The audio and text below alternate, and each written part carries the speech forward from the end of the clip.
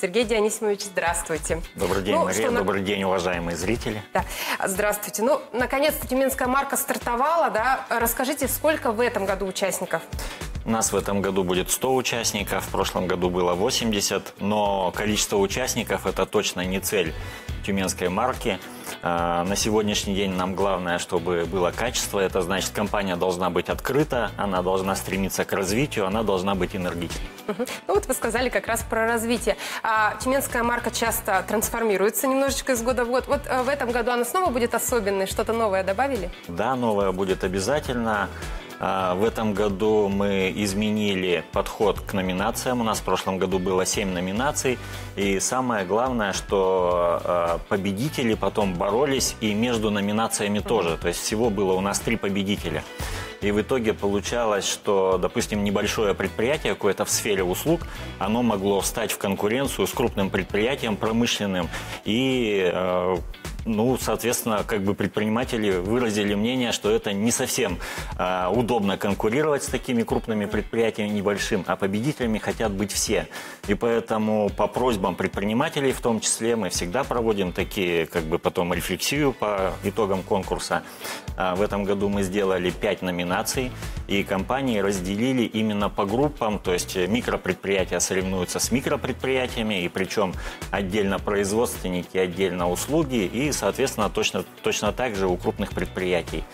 И в этом году, в отличие от прошлого года, у нас будет 5 э, победителей. В прошлом году было 3. Ну и самое главное, то есть мы оставили ту же самую структуру, это будет э, формат телешоу, но внутри этого телешоу мы постараемся сделать так, чтобы это было еще интереснее, еще больше, э, как говорится, конкуренции, еще больше пользы, чтобы было для предприятий. Ну вот как раз про пользу, да, мой следующий вопрос. Совсем скоро стартует у участников образовательная программа. Вот расскажите, пожалуйста, поподробнее об этом. Чему будут учить участников? Э, кто будет их учить? Образовательная программа – очень важный элемент конкурса. Это возможность для компании, как сейчас говорят, прокачать свои скиллы, то есть и мягкие, и жесткие. И здесь э, это это в том числе не только развивает компанию, это развивает и сотрудников компании, в том числе и личный бренд каждого сотрудника. То есть конкуренция же личная, ее никто не отменял. Вот, и здесь э, как бы есть возможность очень хорошо себя продвинуть. Естественно, что на компанию это влияет очень сильно. У нас э, уже сформировался пул наших местных, очень сильных спикеров, очень сильных тренеров, но в том, тем не менее, мы все равно приглашаем и известных э, московских тренеров, поэтому здесь в этом году будет а, тоже как бы очень сильный состав а, наших тренеров, и будет всего 9 образовательных мероприятий, где можно будет пройти какие-то тренинги, нетворкинги, а, получить какие-то обучающие семинары, то есть очень эффективно а, поработать. Ну, наверное, самые главные тренеры для участников – это их наставники. Я напомню, их пять в этом году. Светлана Худякова, Мурат Нурпиисов, Валерий Гуд, Юлия Денека и Ольга Зикеева. Вот в чем будет их роль? Чем они будут помогать участникам? Их роль очень ответственна.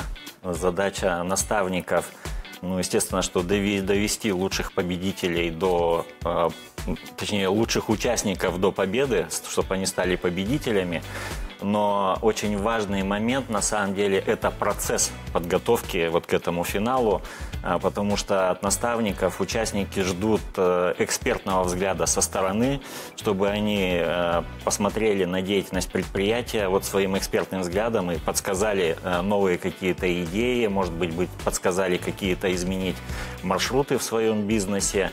Ну, естественно, что проекты, с которыми участники выйдут до финала, их нужно отточить до совершенства и вот готовить самих участников. Вот, кстати, как раз про проекты. Это, наверное, такая уже традиционная, но и одна из самых важных частей конкурса.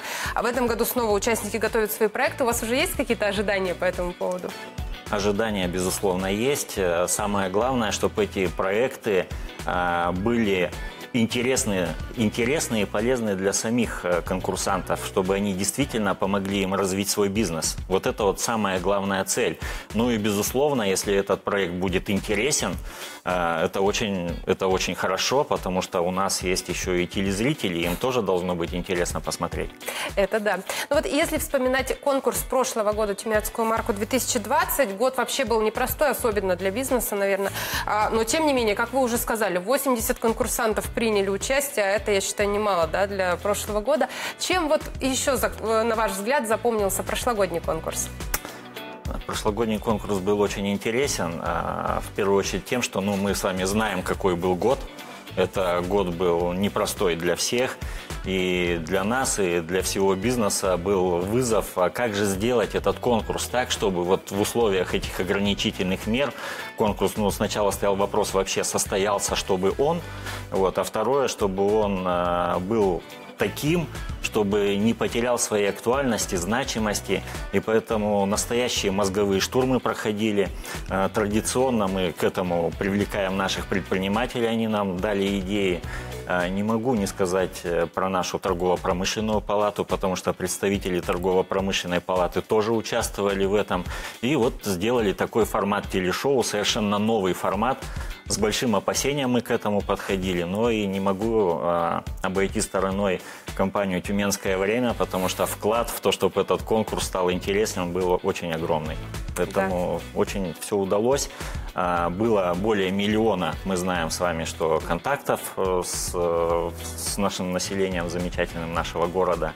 Это хороший результат. И компании дали замечательный отзыв. Ну, я очень надеюсь, что в этом году интерес будет такой же высокий, даже еще выше. А вот интерес предпринимателей, вот он не ослабевает из года в год тюменской марки. Как вы считаете, почему? Почему у бизнеса тюменская марка пользуется таким успехом?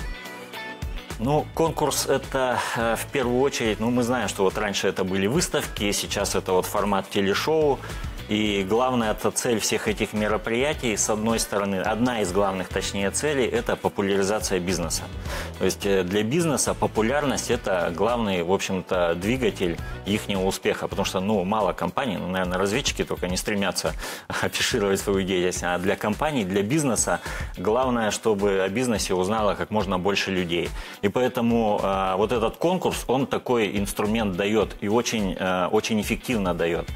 Следующий по эффективности, пожалуй, это вот возможность как раз э, с помощью образовательных программ себя очень сильно усилить, э, узнать что-то новое. Э, момент следующий – это так называемые нетворкинги, общение в своей среде. И часто на это не обращают внимания, но я вот уже на протяжении нескольких лет наблюдаю, как компании, у которых есть вот эта вот жилка э, к активности, к взаимодействию, они между собой начинают общаться и просто вот только за счет этого выходят на новый уровень. Смотришь, вот первый год пришли, участвуют, их и не видно, и не слышно, а второй год уже они все знают, они уже на виду, и это дает очень хорошие стимулы для развития бизнеса. Вот про развитие продолжим тему. А Тюменская марка, ну это давно уже, наверное, вы согласитесь со мной, не просто конкурс, а такой бренд хороший города. А что дает Тюменская тюменская марка городу, на ваш взгляд, его развитию, бизнесу?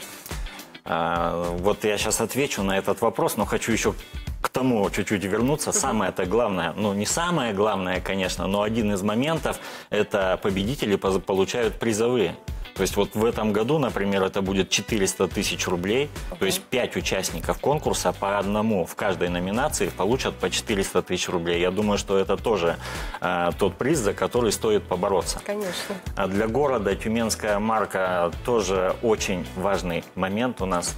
А, я думаю, что все уже согласятся, все понимают, что экономика лежит в основе всего когда сильная экономика, можно уже э, говорить и о культуре, говорить о спорте, говорить еще о каких-то вещах, говорить об инфраструктуре.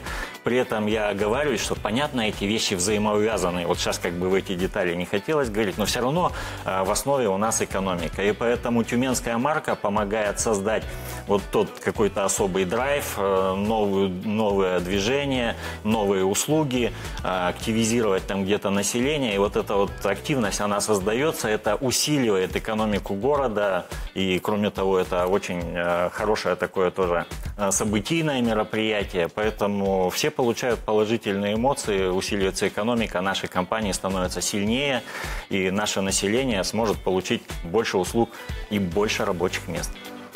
Ну вот, а, если коротко, да, мы как раз с вами уже упоминали о том, что в этом году наши телезрители снова будут иметь возможность наблюдать, а, наблюдать за конкурсом. А вот телезрители смогут принять в каком-то качестве в нем участие? Телезрители традиционно являются одними из основных, а может, пожалуй, как раз главными участниками конкурса, потому что все в итоге делается для нас, для горожан, а мы же являемся и телезрителями. Поэтому, конечно, в этом году мы сохраним возможность телезрителям выбрать победителя. А, по номинации «Приз зрительских симпатий» у нас тоже будет определен победитель конкурса. Им может стать любая компания, не обязательно это у нас а, победитель финала. А, ну и все это благодаря тому, что «Тюменское время», компания «Тюменское время» очень активная. Я вот это и не лезть, и даже это не комплимент. Это объективная реальность, то есть с, с абсолютной самоотдачей э, помогают нам создать вот этот вот конкурс. Спасибо большое. Сергей Дионисимович, ну и вам спасибо огромное ну, за беседу и, конечно, хорошего дня. Спасибо. Всего доброго.